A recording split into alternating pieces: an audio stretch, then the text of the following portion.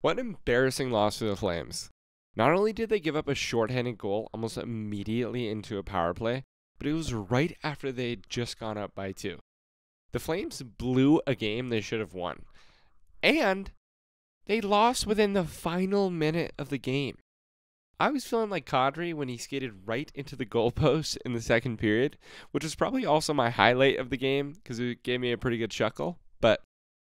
Oh my gosh, I could not believe this game. Anyways, here's a quick game recap though. Flames go up halfway through the first after a goal from Weegar. Brandon Saad then ties it up in the second, and the Flames don't like this very much, so they score two immediately afterwards. The first goes in by Hanifin, and the second goes in by just an absolutely beautiful snipe from Sharangovich, beating both the defender and goalie short side. And then the atrocity happens. Brayden Schenn brings it within one off of what has to be the most embarrassing shorthanded goal of the year. Just a horrible giveaway by Weegar, and not what you want to see from a team just trying to make it into the playoffs.